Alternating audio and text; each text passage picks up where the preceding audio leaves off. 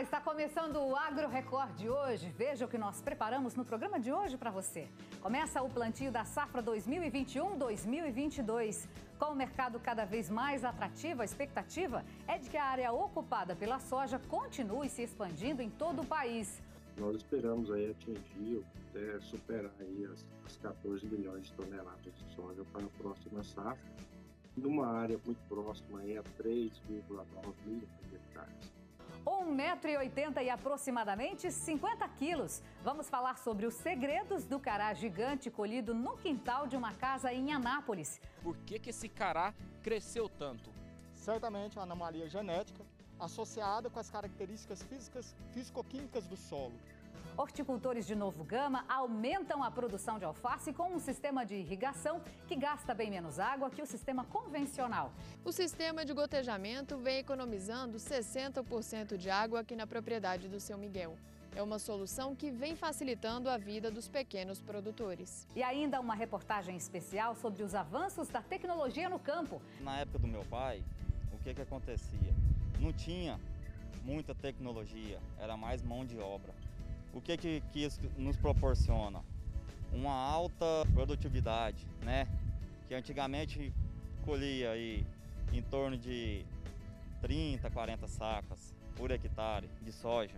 Hoje aqui já dentro da fazenda, nós já, tá, já, estamos colhendo 70, 80 sacos por hectare. A profissionalização das atividades na fazenda e a geração de emprego e renda em diferentes setores do agronegócio. Tudo isso e muito mais agora no Agro Record.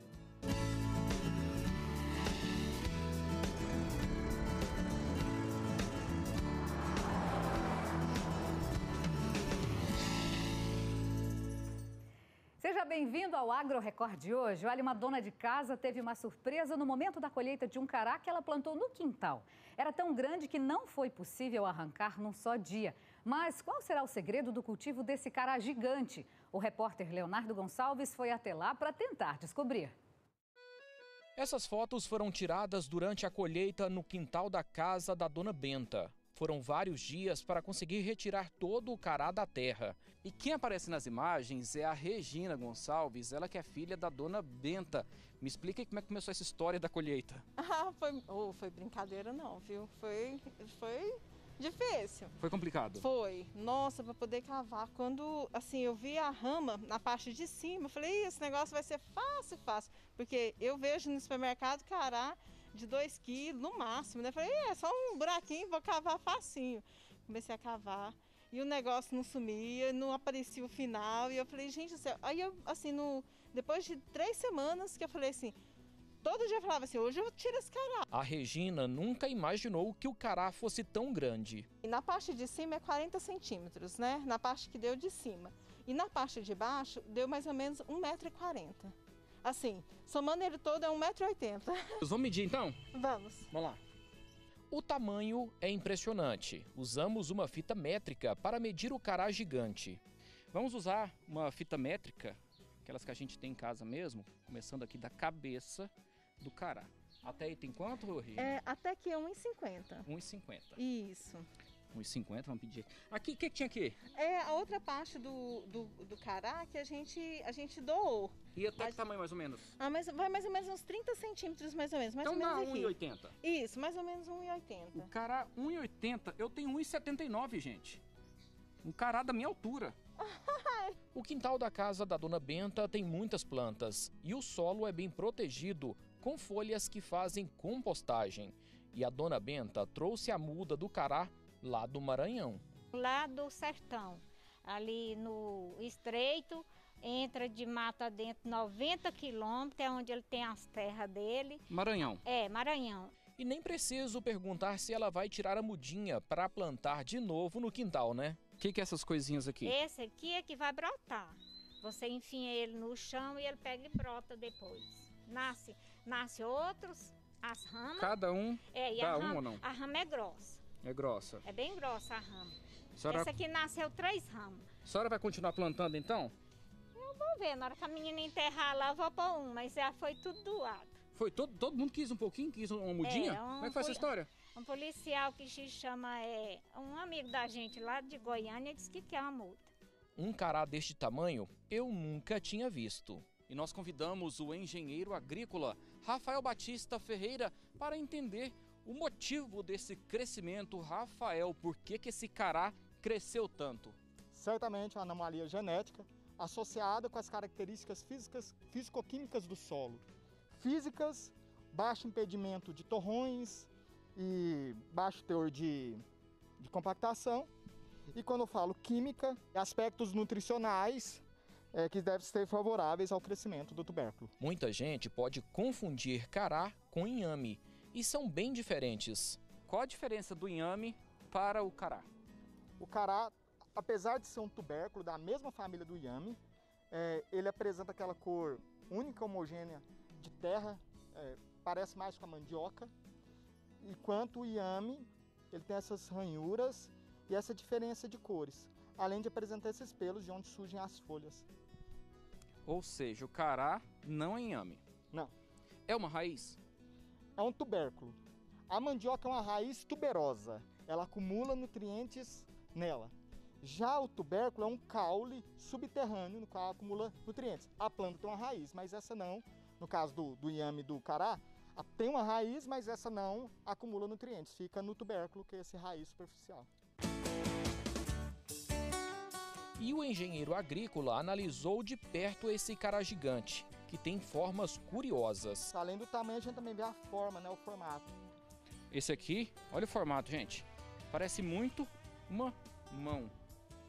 Com os dedos, né? Bem diferente. O... Isso mesmo.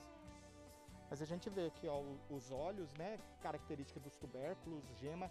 O que, que seria olhos? É aquela superfície que vai fazer nascer outro indivíduo tipo da batata. Uhum. Lembra uma batata. A batata também é um tubérculo.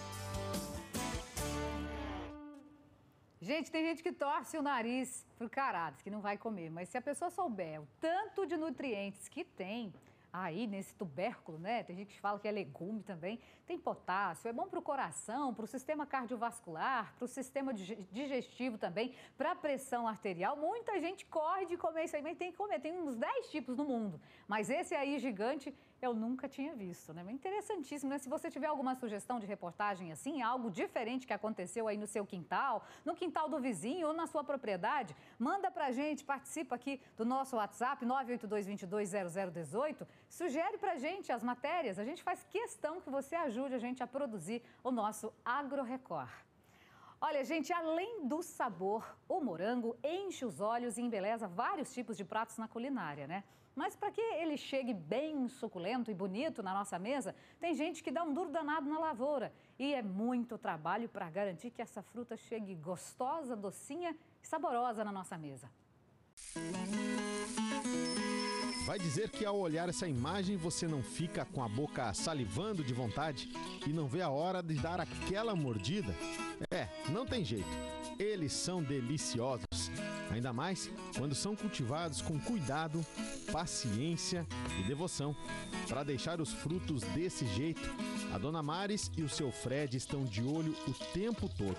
Não dá para bobear, afinal, são 8 mil pés de morangos da variedade San Andrés, vindas do Chile, aqui na propriedade. E produzir bons frutos na região de Blumenau é um desafio.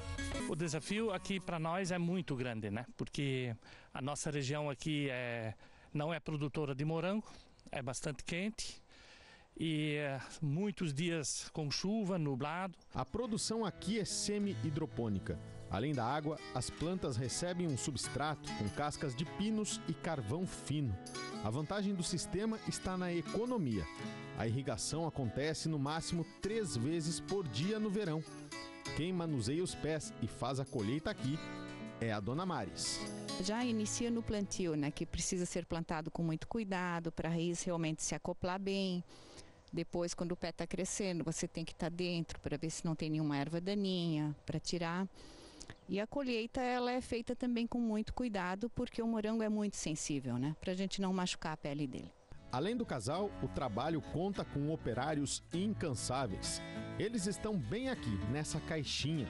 Dentro dela, milhares de abelhas da espécie jataí, que além de produzir um mel delicioso, tem um trabalho fundamental, a polinização das flores. Nós temos elas dentro dos abrigos, por causa dos dias de chuva e nublado, porque aí as abelhas não, não vão para fora, né? E como elas estão aqui no, no abrigo, aí funciona muito bem, né? A colheita é constante, trabalho incansável. Pelo menos a cada dois dias, a Maris está aqui para apanhar os melhores frutos. Esse morango que a gente acha no mercado, a ideia do produtor é igual à nossa, se dedicar tanto quanto nós, porque senão ele não consegue produzir. A diferença é que ele precisa colher mais cedo, mais verde, com mais dias de antecedência. O carinho e o cuidado do casal para produzir um morango de qualidade é tão grande que, além de tudo, eles contam com a ajuda de técnicos da prefeitura aqui de Blumenau e também da Epagre, que estão basicamente uma vez por mês aqui na propriedade para dar todo um suporte para o seu Fred e para a dona Maris. Além disso, olha só, a propriedade conta com esse QR Code de rastreabilidade que garante a procedência do produto para o consumidor final. E falando nisso, toda a produção de morangos é comercializada na Feira Livre de Blumenau. E lá o produto é valorizado. Os frutos maiores e mais bonitos chegam a ser vendidos a 45 reais o quilo.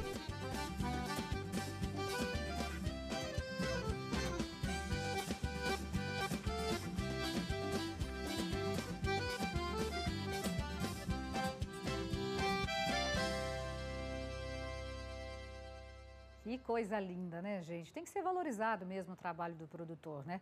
Hoje a gente tem tudo muito caro, os insumos, tudo para produzir fica caro, né? Mas quando a gente vê assim, um fruto desse com tanta qualidade, a gente tem que valorizar, porque sabe que é uma mão de obra e alto custo para poder produzir.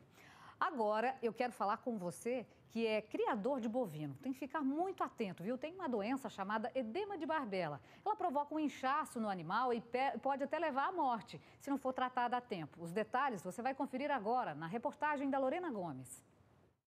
A foto chama a atenção pelo inchaço do animal na região próxima ao pescoço. O sintoma, fácil de ser percebido apenas com os olhos, é conhecido como edema de barbela. A doença é comum e, além do desconforto, pode até levar à morte do animal. Sem falar na perca de, de peso que ele vai ter, né? Porque geralmente o animal com desconforto ele não come igual aos outros, vai perder o peso, não vai render igual aos outros, igual aos outros. Você chegar no curral, chegar numa baia, o animal estiver apresentando uma, um edemazinho pequenininho, um inchaçozinho na barbela, você já pode correr para tratar. Quando o diagnóstico é feito a tempo, dependendo do animal, a cura é rápida. Casos graves podem precisar até de cirurgia. A boa notícia é que o animal não precisa ficar isolado, até porque a doença não é contagiosa. Por outro lado, é difícil a prevenção, já que não se sabe ao certo como o animal é infectado. Pode ser que ingeriu um corpo estranho, outro pode ser que, que tenha algum tipo de verminose. Então, é, são bastante causas que podem fazer com que esses animais venham adquirir esse edema de barbela. A gente não consegue prevenir, não. O animal tá bem, belezinha, do dia pro outro já começa a inchar, sabe? Não tem como a gente prevenir, não. O ideal mesmo é estar sempre de olho no gado. Boa alimentação e atenção à saúde sempre foram recomendações fundamentais para qualquer um, seja homem ou animal. Qualquer doença, a gente pegando no início é fundamental para um tratamento bem eficaz, sabe? Tudo bem no comecinho, é, é igual a gente mesmo quando pega uma gripezinha, né? Quando começa a apresentar os sintomas, já tratar, correr, é, já começar a tomar os remédios é bem melhor, trata bem mais fácil do que quando começa a ficar mais um, um, um caso mais grave, né?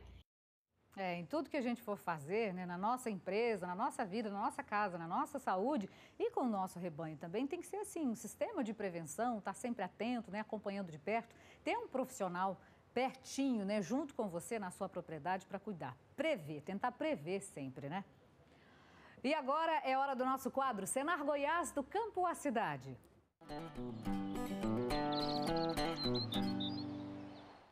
Os cogumelos estão conquistando cada vez mais o paladar dos goianos. E ao contrário do que muita gente pensa, com as técnicas corretas, é possível um cultivo e uma excelente colheita de qualidade aqui no estado de Goiás. Para abrir novas possibilidades de renda, o Senar Goiás tem o curso Cultivo de Cogumelos Comestíveis e a gente vai ver agora como é ministrado esse curso. champignon, shimeji, shiitake. São só alguns exemplos de tipos de cogumelos.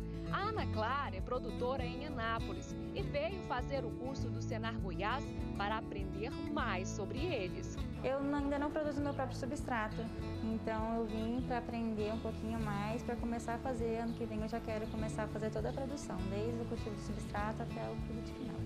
Com 40% de proteína em média em sua composição, é cada vez mais fonte de nutrientes para vegetarianos e também faz sucesso na alta gastronomia.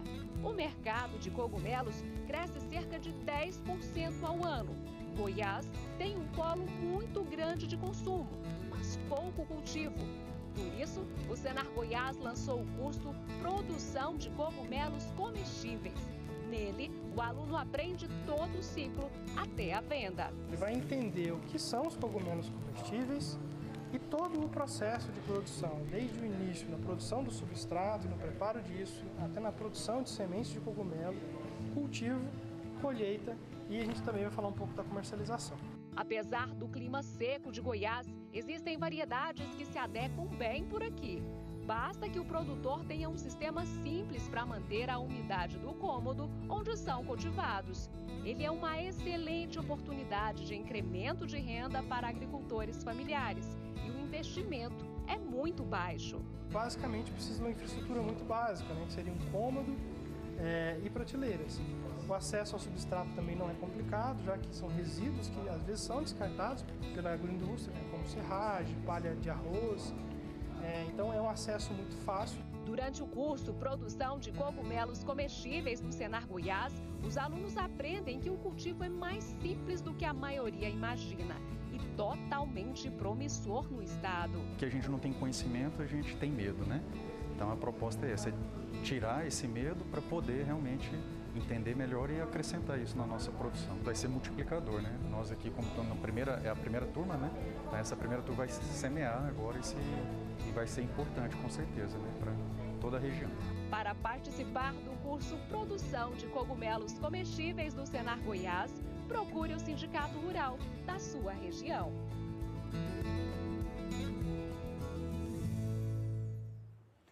Maravilhoso poder aprender mais, né? E se você quer aprender, não tem jeito. Com o Senar não tem desculpa, tem conhecimento para você. Esse foi o quadro Senar Goiás do campo à cidade.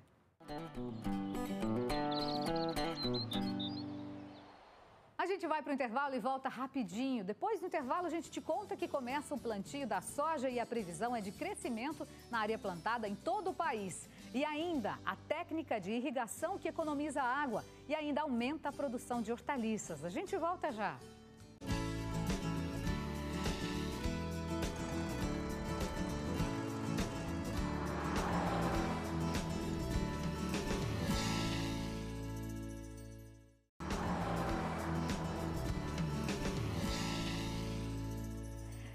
Voltamos com o nosso Agro Record. Muito obrigada pela sua companhia.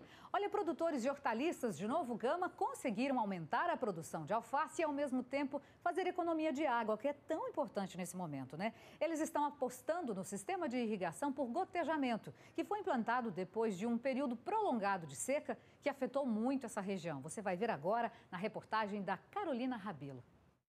Há três anos, o seu Miguel resolveu mudar o sistema de cultivo das plantações. Ele trabalha com produção de hortaliças há 20 anos e em 2017 enfrentou uma forte crise hídrica. Aqui antigamente eu trabalhava com uma bomba de 5 cavalos, que é os 5. Hoje eu trabalho com uma de 3 e uma de 1,5. A bomba fica 40, mais de 40% parada do que se fosse a outra. E é de gota em gota que a horta vai sendo completamente irrigada. Através de uma mangueira com vários furinhos, o sistema chamado de gotejamento vai atendendo às necessidades diárias das plantas. O desperdício era grande, o custo era mais, que jogava mais água, mais energia fora, dava mais erva daninha na, na, nas plantas, tinha que limpar mais telamento, iria ter que limpar. O sistema de gotejamento vem economizando 60% de água aqui na propriedade do seu Miguel. É uma solução que vem facilitando a vida dos pequenos produtores. Economia de adubo, né? O adubo, a energia, a água, a mão de obra, né? Tudo se economiza um pouco. Para a extensionista rural da Emater, os benefícios são vários. Para auxiliar os produtores, eles visitam as propriedades e ajudam em todo o processo. Eles conseguem visualizar com muita facilidade que após a adoção dessas tecnologias de irrigação, fertirrigação e cultivo protegido, eles têm uma, um maior aproveitamento da cultura e conseguem produzir de forma mais eficiente é, numa mesma área e com custos menores. De acordo com a Emater, a produção de alface na região do Gama é a maior pelo segundo ano consecutivo. Atualmente, a produção anual chega a 8.755 toneladas.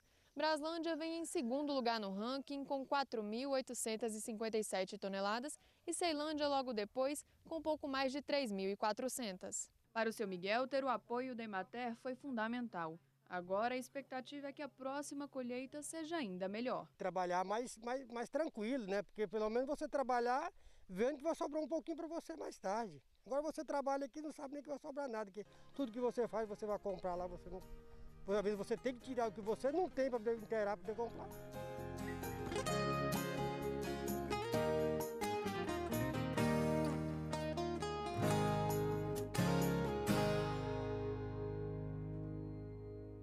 Olha só, gente, quando a gente fala que o campo é uma indústria a céu aberto, é isso aí, ó. Essa plantação aí, essa é uma lavoura mesmo, né? A gente chama de horticultor, mas parece mais uma lavoura aqui do seu Miguel. Olha que incrível. E o mais interessante é ver que o seu Miguel aí, a turma que trabalha junto com ele, eles estão estudando para ter mais economia e mais produtividade. Nós estamos vivendo uma época de muita escassez de água em que isso é pensado como responsabilidade.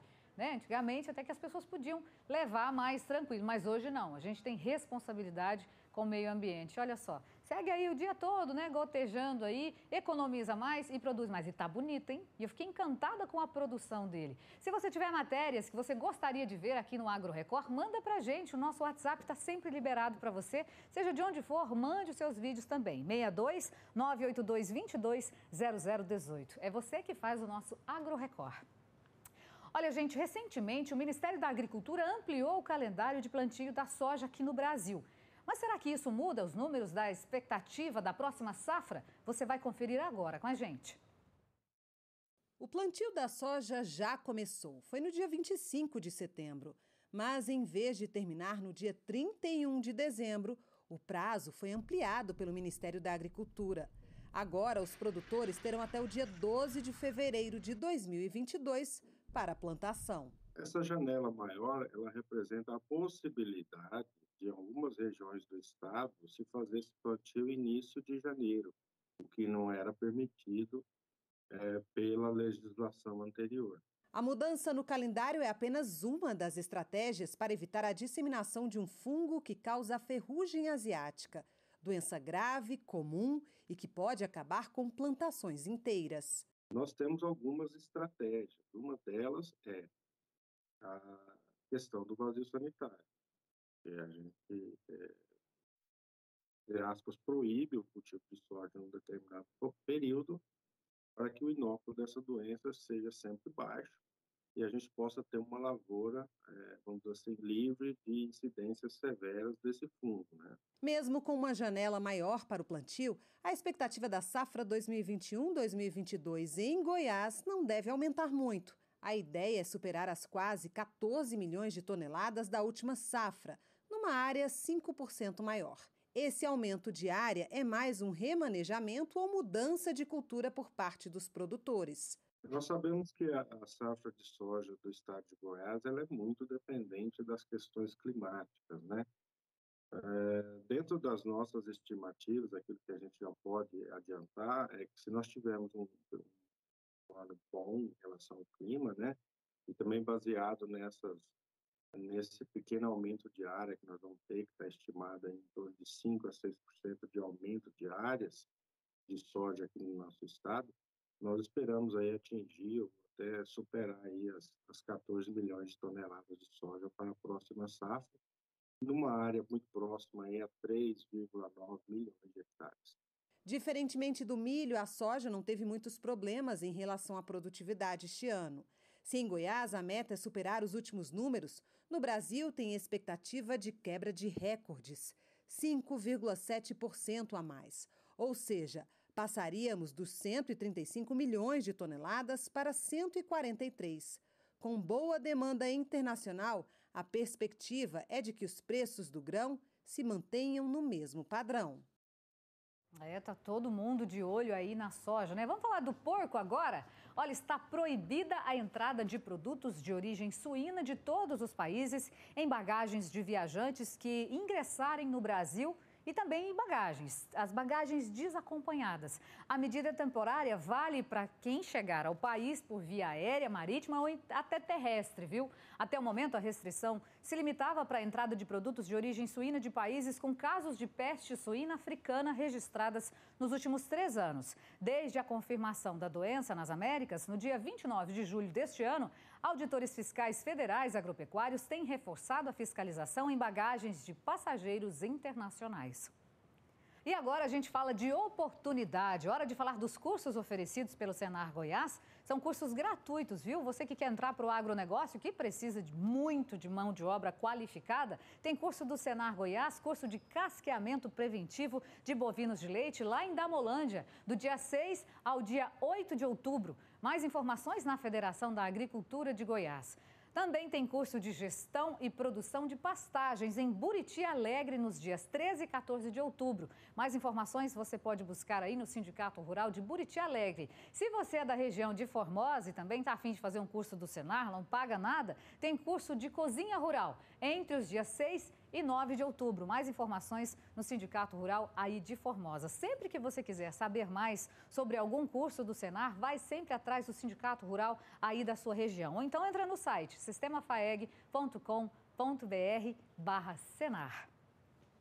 Vem cá comigo que agora eu tenho um exemplo interessante para você. Na pandemia, o seu Edmar perdeu o emprego e decidiu fazer uma hortinha para ele. A produção agora vai de vento em polpa, gente. Os vizinhos viraram clientes das folhagens fresquinhas e sem agrotóxicos. Quem vai mostrar para a gente é a Manuela Queiroz. No meio do caminho tinha uma horta, assim mesmo, entre as casas, o comércio, uma horta enorme, linda, tudo fresquinho e orgânico. Edmar é quem cuida. Foi ele quem idealizou a horta há um ano, quando os negócios perderam força por causa da pandemia. Ele fala que sempre plantou na roça e resolveu começar aqui, na cidade. A pandemia chegou e fiquei em dificuldade com o meu serviço, que era a construção civil. Aí eu também já tinha um, um sobrinho que era agrônomo e plantava orgânico, é o Geraldo da Lava Orgânico. Fui lá, conversei com ele, ele me incentivou Falou, dá certo, pode, pode fazer que dá certo. Eu vim cá, aluguei esse lote e graças a Deus está dando certo. Parece que Edmar leu o pensamento dos moradores da região. Todo mundo amou e, claro, vem comprar. Produtos fresquinhos, colhidos na hora. Para as crianças, a gente garantir alguma coisa sem tanta, tanto veneno, né? Sem agrotóxico, é bom demais. Fica ótimo, ele adora os tomatinhos daqui, vem cá comer tomate todo dia. O Gustavo tem um comércio de frente que vende folhagens. Mas para casa dele, ele compra aqui. Eu compro dele por causa da qualidade dos produtos, né? Os produtos dele são bons.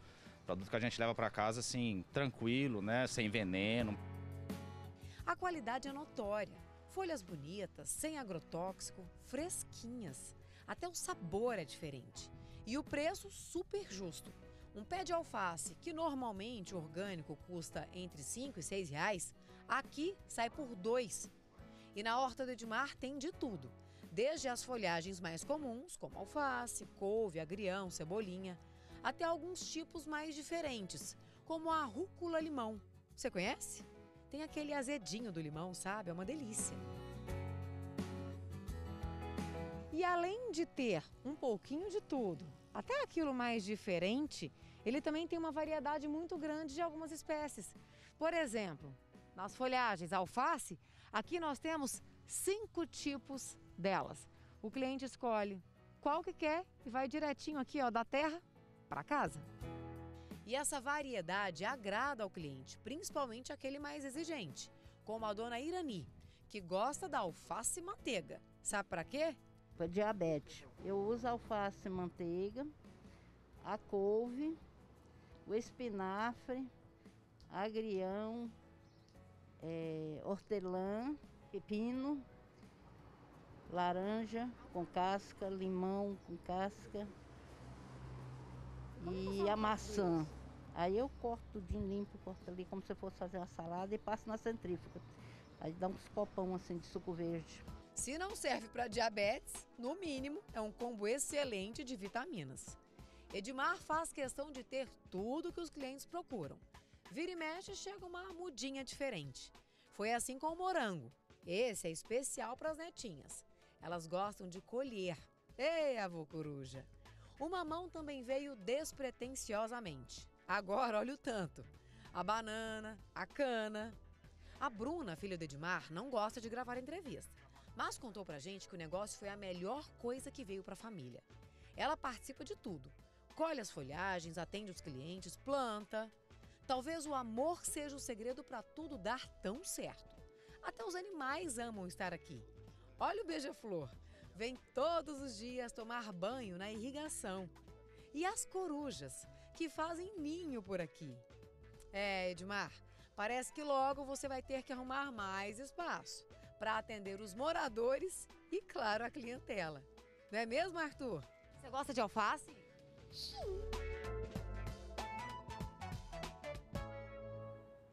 E a importância da participação né, da comunidade toda vendo isso, né, as crianças que vão para lá também e aprendem o quanto é importante a gente saber a origem dos nossos alimentos.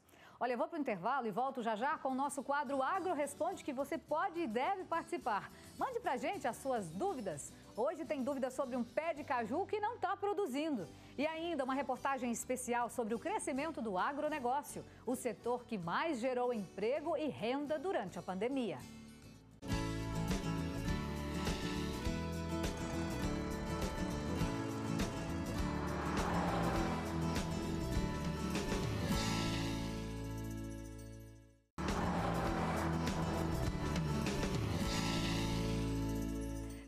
Voltamos com o Agro Record. Muito obrigada pela sua companhia. Agora a gente vai dar uma olhada no mercado. Você que é produtor tem que ficar de olho, senão a conta não fecha, né? Vamos para as cotações aqui dessa semana. A soja, o preço médio semanal, a saca de 60 quilos em Montevidil bateu R$ 163,75. São João da Aliança, 159 reais. A variação da semana em Goiás é negativa em menos 0,23%.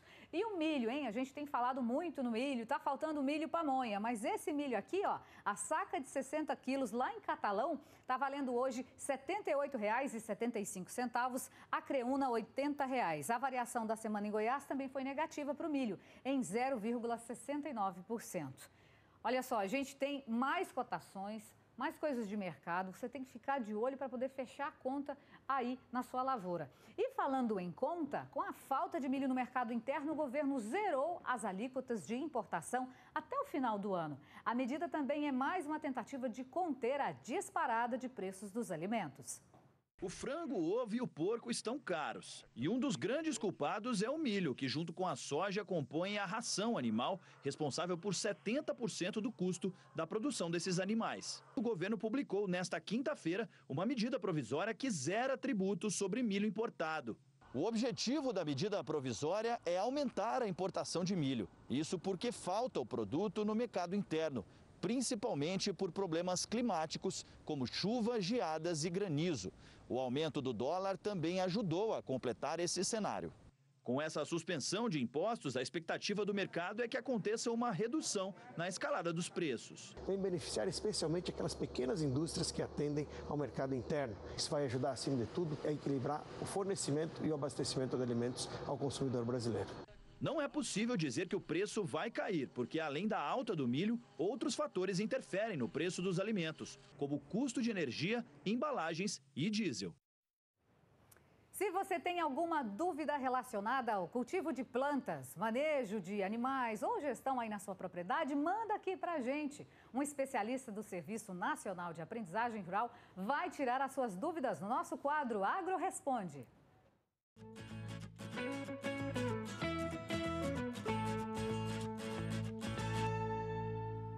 Gente, o seu André da Silva, lá do Jardim Guanabara, aqui de Goiânia, mandou um vídeo do pé de caju que ele tem lá no quintal. Vamos ver. Pé de caju, aproximadamente 6 anos de idade. Dá várias flores. todo ano, mas as flores secam e não, não produzem frutos. Ele produz muita flor, mas não, não, não dá o fruto. A, a flor seca e cai. É um pé de caju emburrado. Quem traz a resposta para o seu André é o instrutor do Senar Goiás, Fernando Domingues. Vamos ver o que ele disse. Olá, André. O que está acontecendo com o seu pé de caju é o ataque de uma doença fúngica chamada oídio do cajueiro. E um dos sintomas dessa doença é essa queima da flor. O que a gente recomenda é fazer pulverizações preventivas com fungicida à base de enxofre, logo após a emissão do botão floral.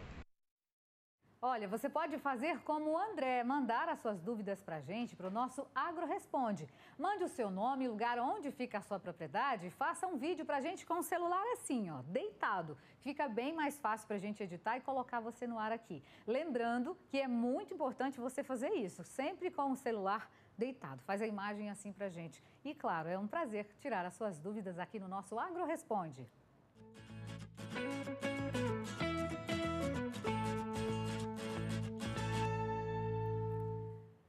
Graças aos avanços tecnológicos, a produção de alimentos no Brasil deu um grande salto nos últimos anos. Né? Com o uso de equipamentos de última geração, a profissionalização das atividades no campo, o setor agropecuário tem produzido cada vez mais e com muito mais qualidade. Né? Nesse período de crise provocada pela pandemia da Covid-19, o agronegócio foi o setor que mais movimentou a economia, gerando emprego e muita renda. É bonito ver o balanço das árvores de eucalipto. Mas não tem muito tempo que, para conferir se as mudas estavam assim, bem plantadinhas, era preciso ir a pé.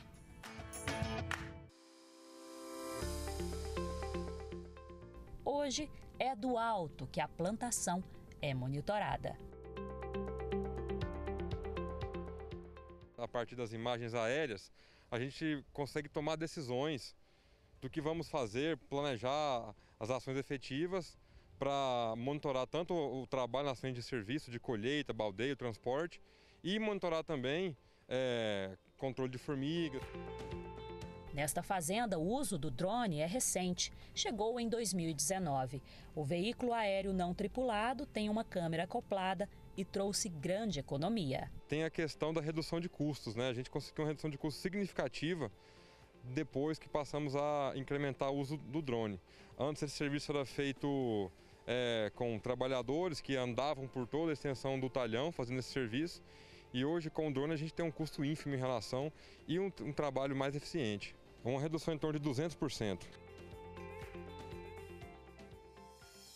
Ao todo, são 100 hectares de eucalipto. E entre a plantação e a colheita da madeira, levam-se seis anos. Mas aqui se colhe eucalipto o ano todo, isso graças a um manejo da terra. A plantação ocorre mais especificamente no período chuvoso, depois do mês de novembro. Estas árvores, por exemplo, foram plantadas em fevereiro deste ano, em 60 hectares de terra e contendo 90 mil pés de eucaliptos, que só serão colhidos em 2027. A colheita é feita manualmente e, com o auxílio de tratores, a madeira é trazida para uma usina, onde será tratada em um sistema totalmente digital. Nesse exato momento acontece, está é, tá tendo o vácuo final da madeira. Terminou, terminou o sistema de impregnação e agora a máquina está fazendo o vácuo final.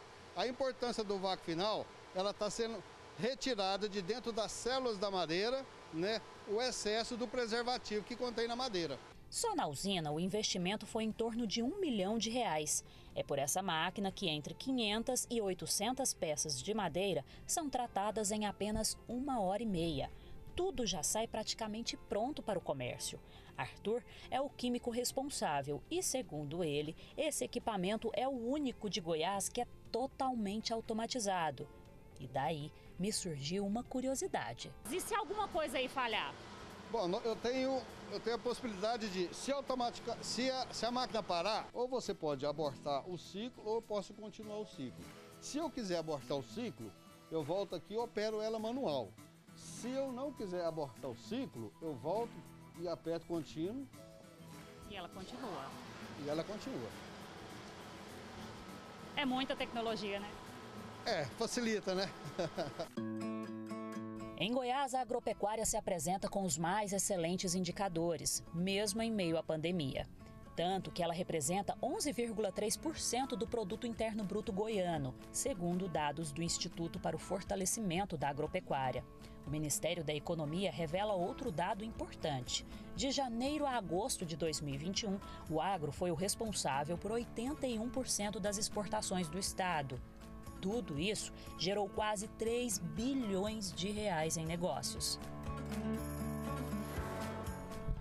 Tanta produção só é possível graças à digitalização das fazendas. E é neste avanço que os produtores rurais apostam. Aliás, apostam não, investem.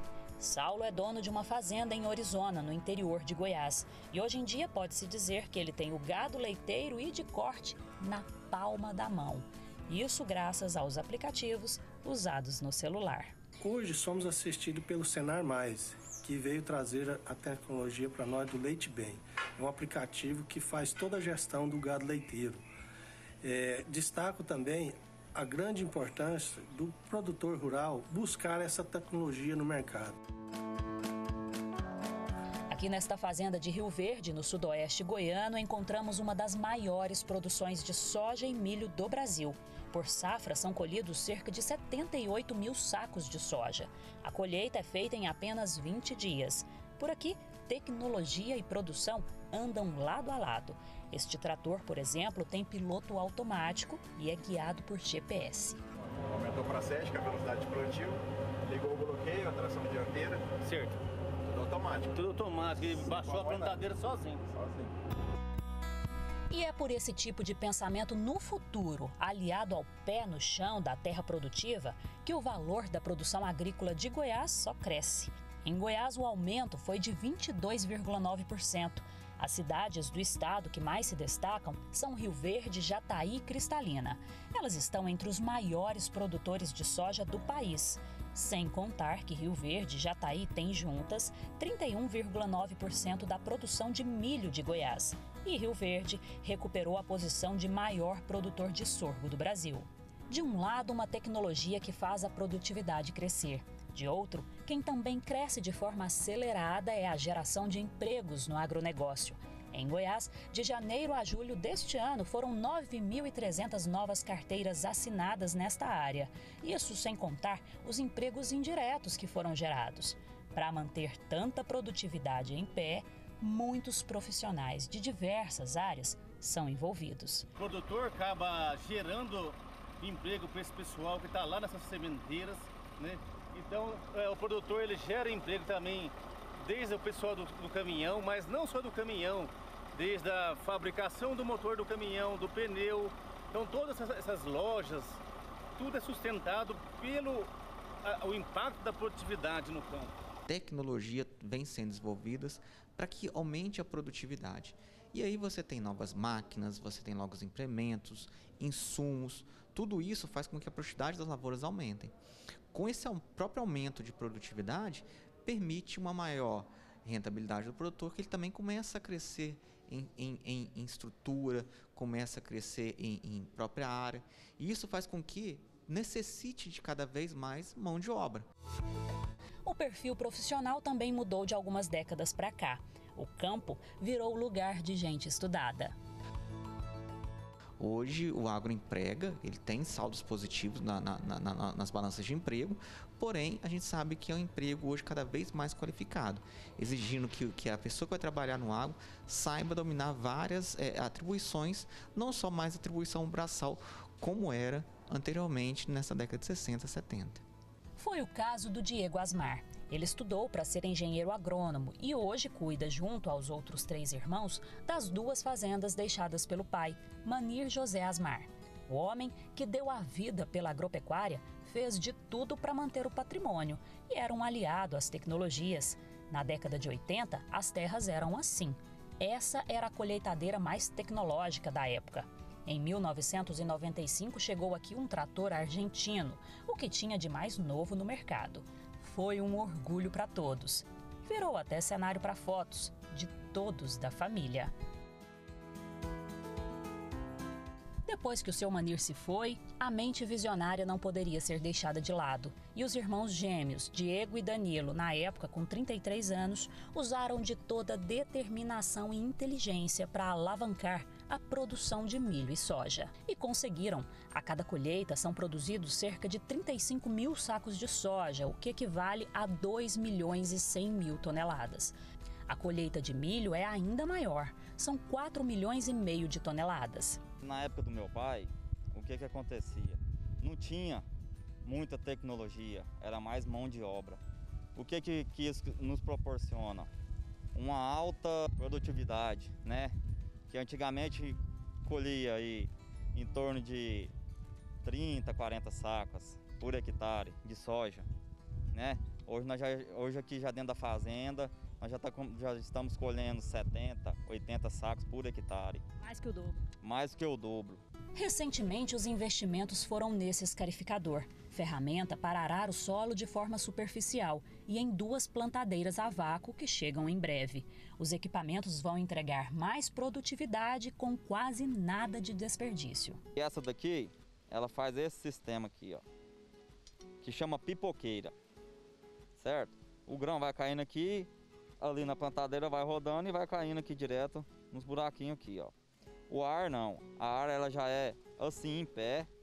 Tem um ar que, que puxa a semente aqui e logo embaixo assim ela solta o ar que cai a semente, proporcionando uma melhor distribuição no solo. O maquinário de hoje em dia influencia também no conforto do funcionário. Não tem mais essa de ficar suando no calorão. A cabine dos tratores modernos tem ar-condicionado e até um somzinho para espairecer. Era mais braçal, hoje está mais, mais tecnologia, né? Mais conforto também. Bem, bastante conforto. Uma coisa é certa: quem aprendeu a plantar e colher na força do braço jamais imaginaria que tanta modernidade um dia ia tomar conta do campo. Orgulho. Muito orgulho.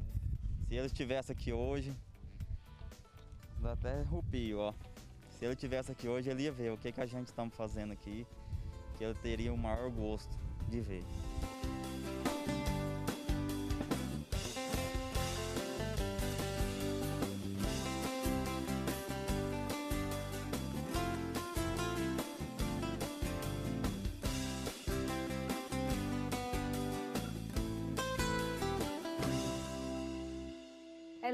De ver, né, gente? O nosso agronegócio segurou aí a alimentação mundial, né? Muita gente fechou as portas de suas empresas e a gente vê que o campo, ele exigiu mais. O campo, quando você exige, o produtor rural, quando você exige dele, cada vez mais ele aguenta o tranco, né? Então a gente vê que ai de nós se não fôssemos do estado de Goiás, se não fôssemos do Brasil, de onde a gente tem tanto espaço, né, para correr atrás, para fazer, para estudar e desenvolver o nosso campo, o nosso agronegócio.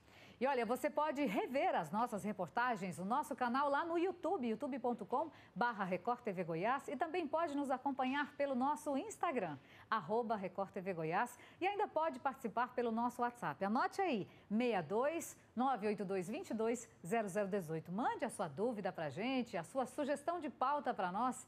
Mande os seus vídeos, fique à vontade, viu? O Agro Record é todo seu. Agro Record que volta na próxima semana. Muito obrigada pelo seu carinho. Até semana que vem. Tchau.